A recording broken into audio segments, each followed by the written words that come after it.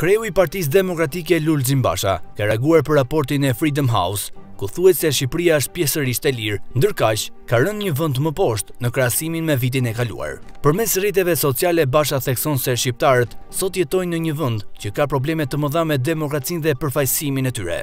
Sipas Freedom House, Shqipëria ka rënë poshtë në indeksin politik dhe të drejtat e njeriut. Shqiptarët sot jetojnë në një vend që ka probleme të mëdha me demokracinë dhe përfaqësimin e tyre, me korrupsion në nivelet më të larta, me censurën për mediat, me krimin që nuk ndëshkohet, shkruan ndër të tjera kryedemokrati Lulzim Basha në reagimin e tij.